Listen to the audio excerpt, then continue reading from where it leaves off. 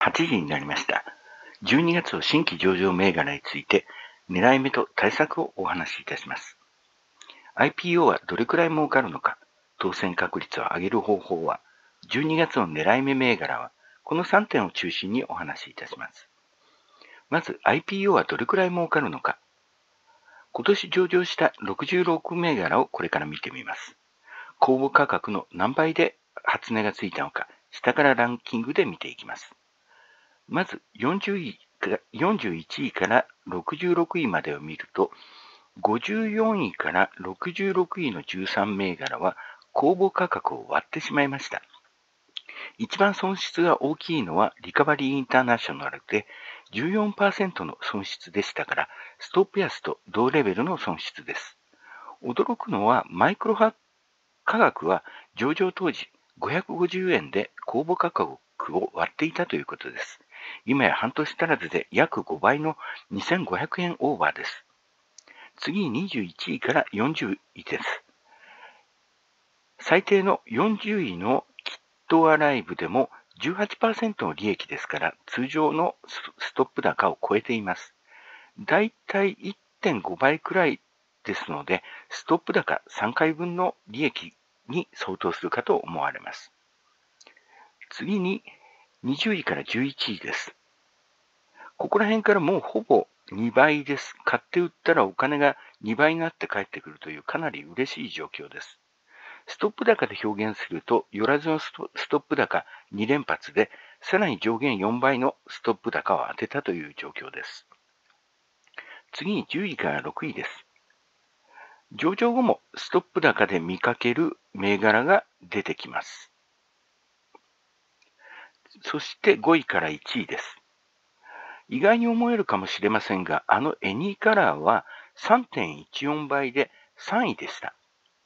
エニーカラーを超えて、えー、第2位になったのはサークレイスでした。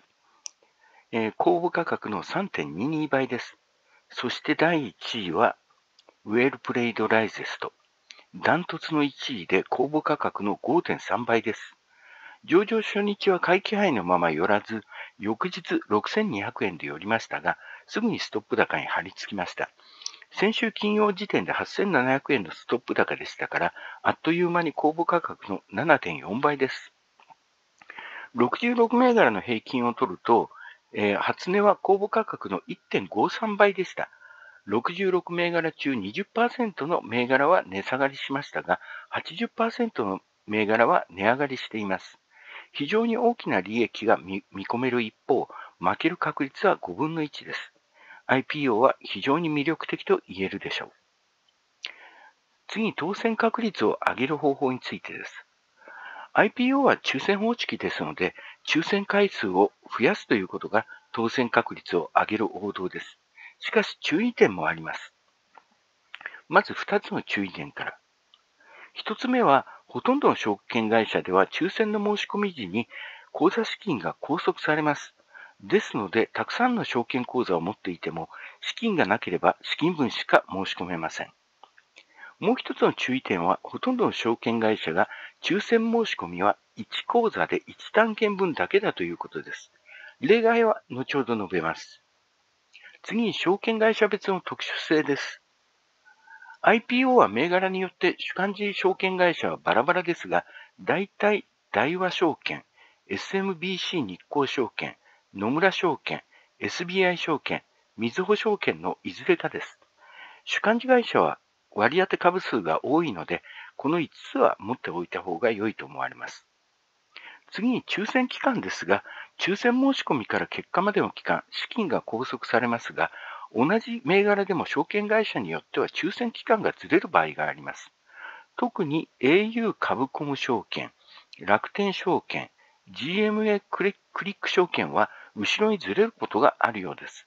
このため資金が少ない場合は資金を移動させて再挑戦できる場合があります。次に例外の証券会社を2つご紹介いたします。まず SMBC 日興証券の抽選回数は口座資金で優遇されます。ですので SMBC 日興証券が主幹事の銘柄の場合は余った資金はここに放り込んでしまうというのも手です。次に SBI 証券です。SBI 証券は3つの点で特殊です。まず1つ目。SBI 証券は抽選申し込み時の資金拘束がありません。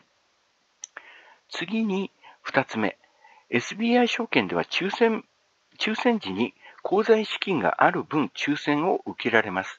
つまり1000株分口座に資金があれば1000株分抽選を申し込めます。ただし、申し込み時に1000株分で申し込んでも、抽選時に900株分しか口座に現金資金がなければ、900株分の抽選しか受けられません。反対に、申し込み時に口座現金が1000株分なくても、抽選時に1000株分にしておけば、1000株分の抽選が受けられます。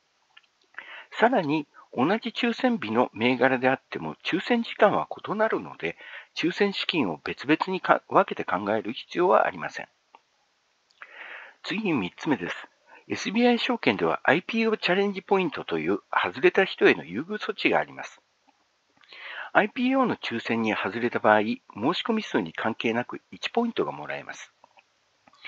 IPO 申し込み時にこのポイントを使うと、少しだけ当選確率が優遇されるというものです。外れた場合、ポイントは戻ってきますので、外れまくっていてもいずれは当たるという優遇措置です。ですので、特に買うつもりがない IPO でも、このポイントを貯める目的として申し込んで、ここぞという銘柄で貯めた全全ポイントを使うというのも手です。ただ、100ポイントくらい持ってる人は結構ザラのようです。これまでをまとめると、証券口座はたたくさん持った方が良い。優先順位としては、まずは SBI 証券。2番目に SMBC 日興証券。3番目に野村証券大和みずほ。そして4番目には楽天 au 株コム GMO クリック。そして5番目には松井マネックス岡さんオンライン SBI ネオトレード証券 DMM コネクト。申し込みの優先順位は、まずは主幹事証券会社、そして SMB 証券。SMB 証券は IPO チャレンジポイントを貯めると有利であるということ。抽選時、これは申し込み時ではありません。抽選時の口座資金分抽選が申し込めるということ。証券会社によっては抽選日が異なる場合があるので、資金を回して再挑戦ができる場合ともあるということ。以上です。次に12月の狙い目銘柄についてです。12月は非常に新規上場が多く、あと23銘柄もあります。まだ抽選に間に合う銘柄も20銘柄あります。これら23銘柄の値上がり期待度を勝手な独断で判断したものがこちらになります。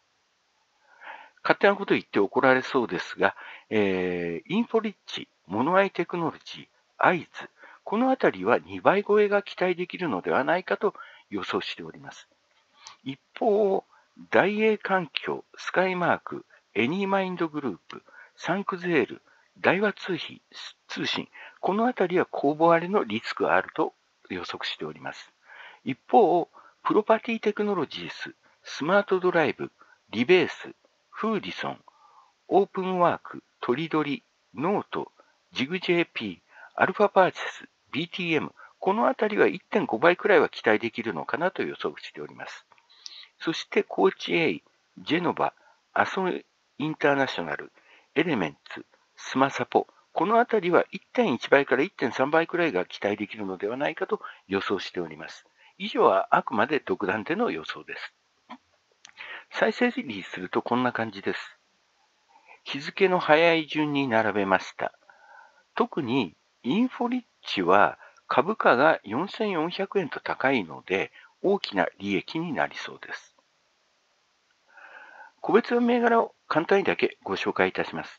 すでに抽選申し込み終わっておりますが、プロパティテクノロジーズは中古マンション関連で、事業的には目新しさがなく、株価は高めだが、株数は少なく、ロックアップはしっかりかかっているという状態です。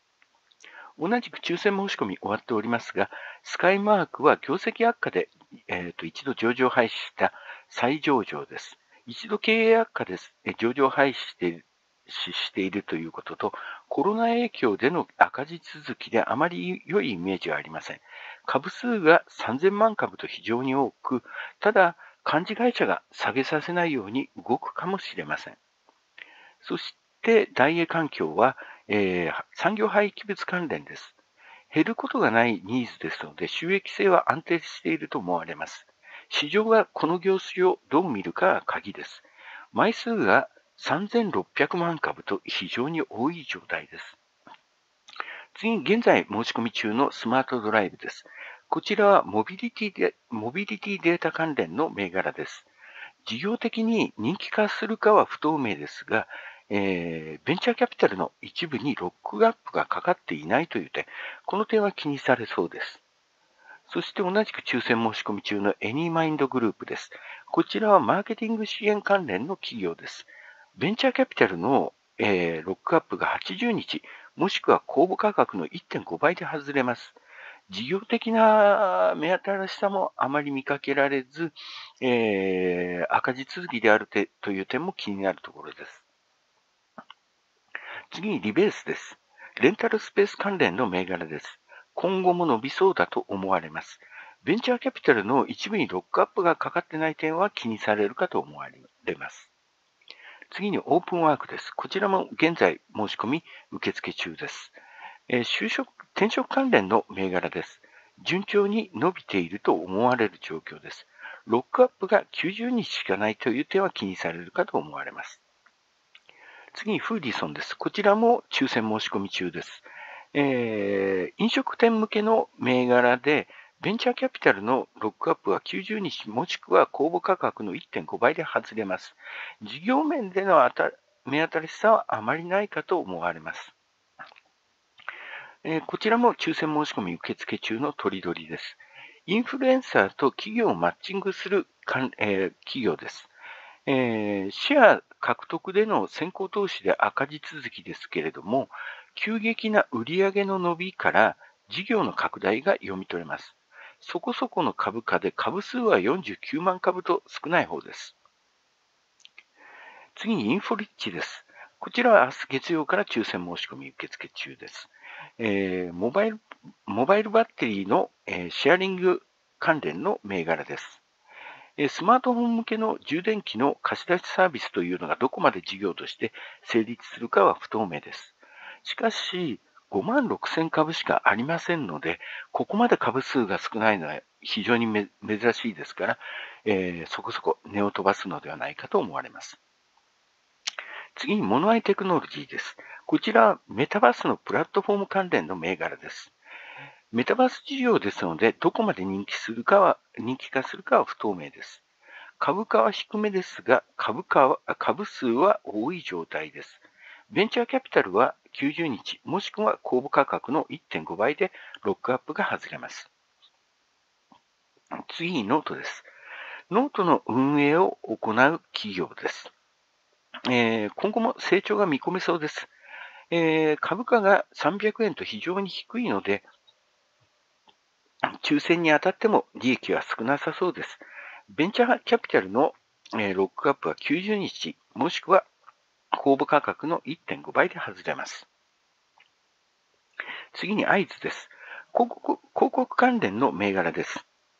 今後も、えー、成長が見込めそうです。株数が43万株ということで非常に少なく、ロックアップも180日でしっかりかかっております。次にサンクゼールです。加工食品関連です。小売業ですので IPO 的には期待を集めにくそうです。枚数が300万株と非常に多いです。次にコーチ A です。こちらはコーチングに関する企業です。えー、10月、えっ、ー、と、えっ、ー、と、10月20日に先行して上場したビジネスコーチが、えー、初値プラス100.7%となったことを思い浮かべる投資家が多そうに思えます。次にジグ JP です。ライブ配信関連です。ベンチャーキャピタルのロックアップは90日もしくは公募価格の1.5倍で外れます。事業的に人気化する可能性があると思われます。枚数は370万株ですので非常に多いです。え、次にジェノバです。医療情報サイト関連の銘柄です。一部のベンチャーキャピタルにはロックアップがかかっておりません。今後も成長が期待できそうです。事業的に人気化する可能性があります。